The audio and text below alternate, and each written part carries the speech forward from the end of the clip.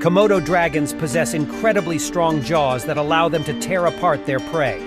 With sharp serrated teeth, they can easily grip and devour large chunks of meat.